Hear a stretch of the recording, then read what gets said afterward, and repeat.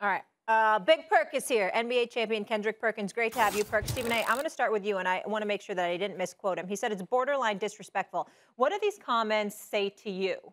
Well, that Joel Embiid is getting tired of all of this noise about what Ben Simmons doesn't want. Mm-hmm.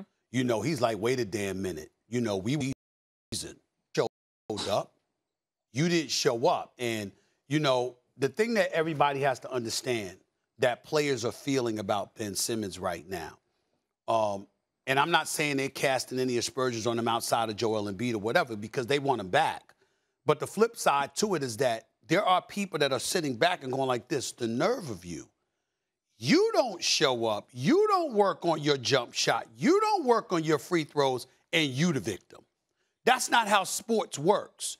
You're a victim when you do the job and you're not appreciated for the job that you do. Not when you're greatly appreciated and people give you a pass on a lot of things, but somehow, some way you don't produce and it's other people's fault. Mm-hmm. That's what no one's hearing from Ben Simmons.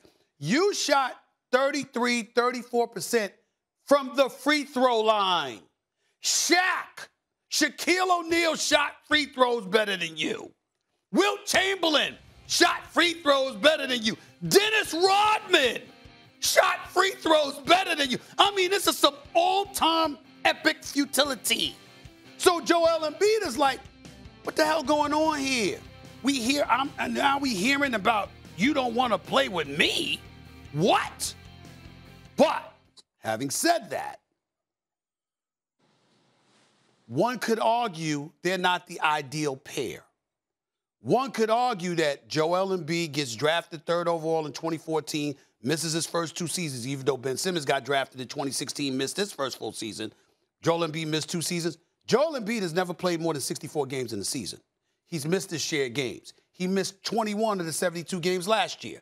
These are legitimate injuries, of course, but nevertheless, that was an issue. Yeah. And so you understand what Ben might be saying.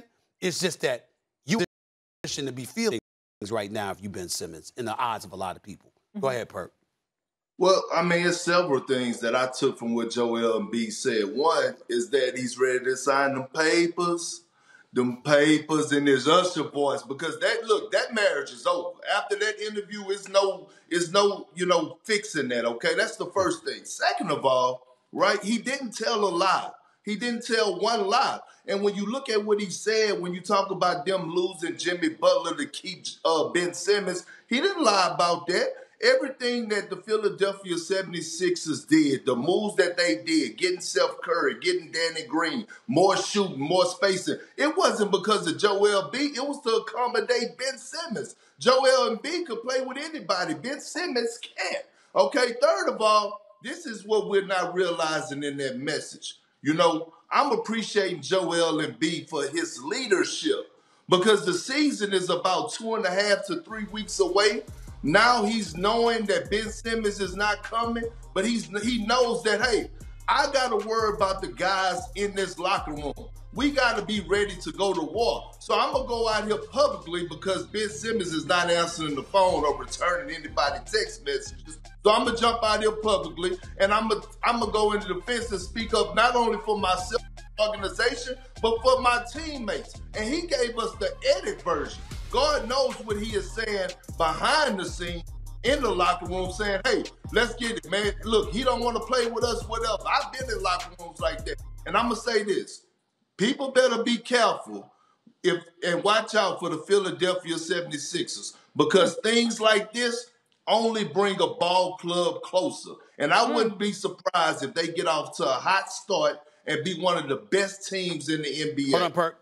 I got you. Before we move on, because yeah. we got to move on to another subject. Really quickly, Molly and Perk. Ben Simmons saying that and Perk highlighting that it's over also kind of made things difficult for the Sixers as well because now you it's almost like you got to get rid of Ben Simmons yeah. even more. Yeah. Absolutely. And, and, other teams know that. And remember, so big, they might under, try to kind yeah, cut Big Perks right 70% of the time, all the time. You know those statistics. the NBA, I love you, Perk, has reached a 95% vaccination threshold of its players, reflecting a steady rise that's great since the opening of training camps this week. League sources told ESPN on Thursday a player still believed not to be vaccinated is Kyrie Irving. With his Nets, one of the favorites to win it all, they are the favorite Uh, what to do about Kyrie with his questionable availability, considering New York's vaccine mandates, has been a hot topic. Most recently, Shaq weighed in on what to do about Kyrie. Here's the big fella. I would go upstairs and say, "Get him up out of here. Mm. Get him up out of here. You, you, we, we, we go in with a two punch and a great shooter and some rebounders like we got. Get his ass up out of here. Because now every day I have to answer questions about him and what he's doing. That get his ass up out of here. Whoever owns the Brooklyn Nets, get him up out of here.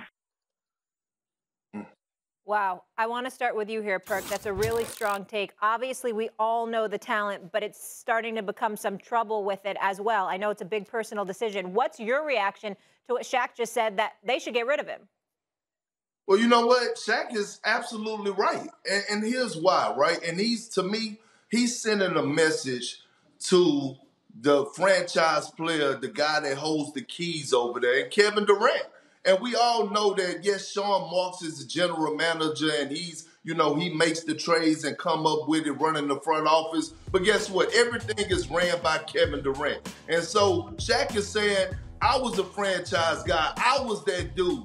And look, if you're trying to win a championship, you need everybody to be hundred percent in.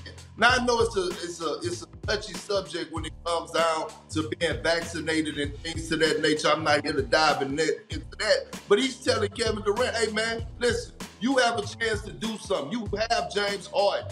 Don't let this man be a distraction. Sometimes you gotta be be man enough to walk upstairs and pull Thanks for watching ESPN on YouTube. For live streaming sports and premium content, subscribe to ESPN Plus.